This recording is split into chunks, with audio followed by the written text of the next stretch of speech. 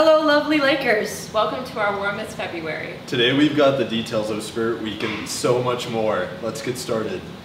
Project Success has many upcoming college tours to the University of Minnesota and University of Wisconsin Stout. Scan the QR code to register. Check out this message from the CCC.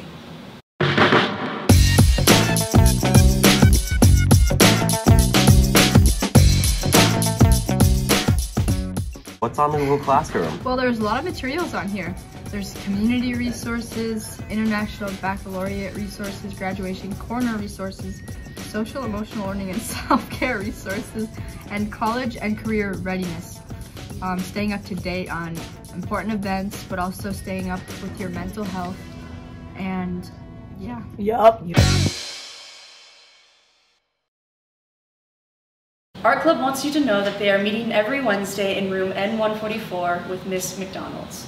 If you haven't yet, make sure you take the YPE survey. Spirit Remember to get your Val-o-grams. Virtual conferences will be held on February 20. Parents can sign up through My Conferences from 8 to 4 p.m. In-person conferences will be February 21st at 4 to 8 p.m. Spirit Week has arrived. So Monday is going to be PJ Day, Tuesday is going to be Dress as Your Type, Wednesday we wear pink, Thursday is Jersey Day, and Friday is your class colors. We got a lot to celebrate on Friday with our Black History Showcase and Winter Formal. Winter Formal is Valentine theme.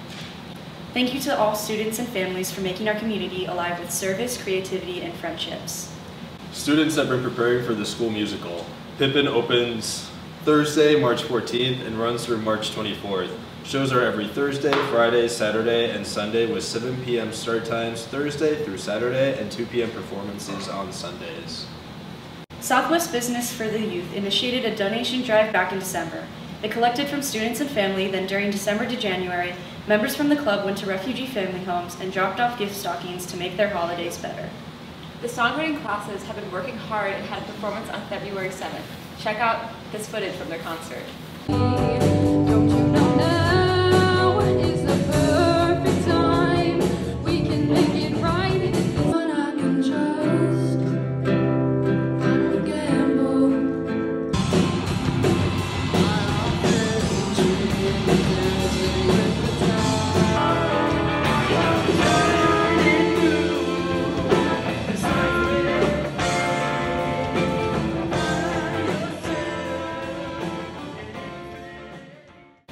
Performing arts students help raise money for the Performing Arts Department at the Hot Notes Gala.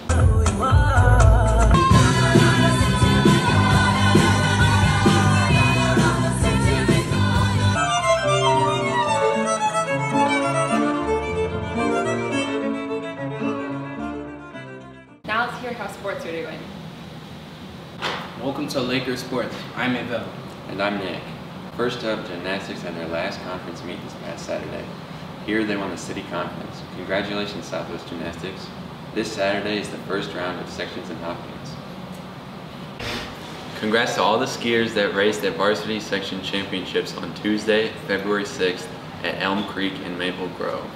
It was a great day of racing with challenging, spring-like conditions. Firm tracks in the morning for classic, but slurpy-like conditions in the afternoon for the freestyle skate races. The girls team placed third overall. Congratulations to Zoe Sumner, Ella Mikowski, Anatalia Graham, Allie Moran, Tessa Dahlquist, Nora Dietz, Kira Bell, and Hazel Hansen. The boys team placed seventh overall. Congratulations Sam Scott, Henris Engstrom, Riley Cox, Olin Riley, Keenan Moriarty, Miles Nemes, Rowan Reddy, and Cadel Graham. Two of our skiers will be going to the state meet at Giants Ridge. Zoe Sumner and Sam Scott qualified for the MN State meet in the individual pursuit race. Section ski races, February 7th, Southwest Girls, Leah Ralph, Lucy Renz, Eva Boyakin, Ingrid Hartzell, Avery Patterson, and Mila Boyakin forerun. And alternate for Southwest are Julie, Maurice, and Reese brothers who got second place overall. Parker Hunt got 15th individually. Eva Boyakin got second individually. Leah Rolfe got fifth individually, and Lucy Renz got sixth individually. State will take place at Giants Ridge on February 13th. Liam Farniak has Minneapolis Southwest boys basketball all-time scoring record. Nice work, Liam. Southwest boys basketball beat Edison 98 to 78 on February 7th. Birthday boy Liam Farniak dropped 50 points at that game. Vanson Smith had the most rebounds. The JV and freshman teams also won their games against Edison. The next game is tonight against Henry at Henry. Girls basketball won against Washburn 71 to 53 on February 1st. Thanks to all to, who came up to support. Their next game is tomorrow against Henry. Congratulations, Southwest Laker cheer team, with an amazing season-winning first, second, third place at the comp with Eastview, Farmington, Edina, and so many more. Back, to you, Lakers. You know, I am so curious. Um, let's hear how students are faring with course registration. Hi, my name is Mustafa and I'm interviewing. Dahlia. And Kate. How are you guys doing today? Pretty good. Good. How are you? Good, thank you. Uh, was the elective fair helpful for you guys? It gave good information. Yeah. Uh, do you guys know what to do for registration? Um, I mean, we filled No, out a paper. like a yellow like, card, but I didn't do it. But Alright. Come on. Come on. How you doing today, Abdul? Come on. I'm doing good. Alright, that's good to hear, bro. Was that elective fair helpful for you last week? Yeah, yeah. You enjoyed it? Yeah, I enjoyed it. I got to see a lot of, a lot of potential opportunities. Do you know what to do for registration? Yeah, yeah, yeah. But I didn't really make my decision yet, so we'll wait got the rest of the month for that. Uh, hi, my name is Mustafa and I'm interviewing. How you doing? I'm Mr. Wilson. Alright. I'm school counselor, school counselor.